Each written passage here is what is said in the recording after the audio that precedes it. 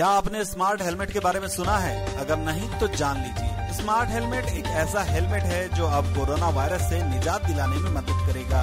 यूँ तो भारत भर में बहुत कम ही स्मार्ट हेलमेट हैं, लेकिन जलगांव शिवसेना महानगर और युवा शक्ति की ओर से जलगांव वालों की सेवा के लिए स्मार्ट हेलमेट के साथ यहाँ पर कोरोना वायरस से लड़ने के प्रयास किए जा रहे हैं। शुक्रवार को जलगांव शिवसेना महानगर की ओर से जलगांव शहर के कई इलाकों में स्मार्ट हेलमेट के साथ कोरोना वायरस की जाँच की गई, जिसके लिए टेम्परेचर की स्क्रीनिंग ज़रूरी है। जिससे यह पता चल पाएगा कि किसके पास ज़्यादा टेम्परेचर है और कौन कोरोना वायरस से संक्रमित हो सकता है। ऐसे लोगों की जानकारी इकट्ठा कर जलगांव शिवसेना महानगर और युवा शक्ति महानगर पालिका को बताएँगे और फिर महानगर पालिका उनका टेस्ट करेगी, जिसके बाद यह पता चल पाएगा कि वह व्यक्ति कोरोना वायरस से पीड़ित है या नहीं। हेल्मेटमध्ये हे- जो आहे, हा थर्मल कॅमेरा आहे. त्या थर्मल कॅमेरा थ्रू आम्ही समोरच्या व्यक्तीचं पूर्ण बॉडीचं टेम्परेचर एक कॅलिब्रेटेड मोडवरती चेक करतो. जे आम्हाला या अंतर्गत शिवसेना महानगरतर्फे कोरोना स्मार्ट हेल्मेट जळगाव शहरात विविध भागात जाऊन संबंधित नागरिकांची स्कि स्क्रीनिंग करणार आहेत. पूर्ण महिन्याभरात महाराष्ट्रातील प्रत्येक घराघरात जाऊन स्क्रीनिंग करणार आहोत. सरकारी यंत्रणे व सामाजिक सेवा संस्थेच्या माध्यमाने.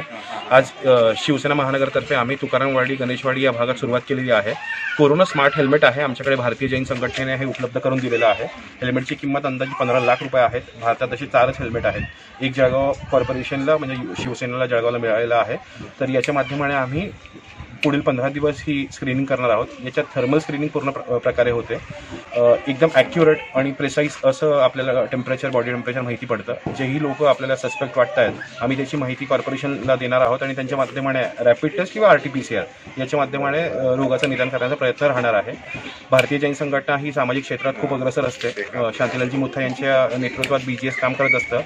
आम्ही विनंती केली आणि त्यांनी आमच्याकडे ही मशीन उपलब्ध करून दिलेली आहे. आणि पुढील पंधरा दिवस आम्ही जळगावकरांच्या सेवेत शिवसेना तत्पर राहणार आहोत स्वयं शिवसेना महानगर के अध्यक्ष शरद तायड़े ने इस हेलमेट को लगाकर लोगों की जाँच की और देखा कि हेलमेट किस तरह से काम करता है, काम करता है या नहीं।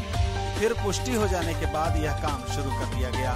जलगांव शहर में इस तरह से अगर स्क्रीनिंग होती रही स्मार्ट हेलमेट के ज़रिए तो जल्द ही सभी लोगों की स्क्रीनिंग की जा सकेगी और कोरोना से मुक्ति पाने में मदद मिलेगी। जलगांव से धर्मेंद्र राजपूत के साथ आनंद शर्मा की रिपोर्ट इंडिया आप तक न्यूज़ के लिए। शुभमङ्गलम् सर्वमङ्गलम्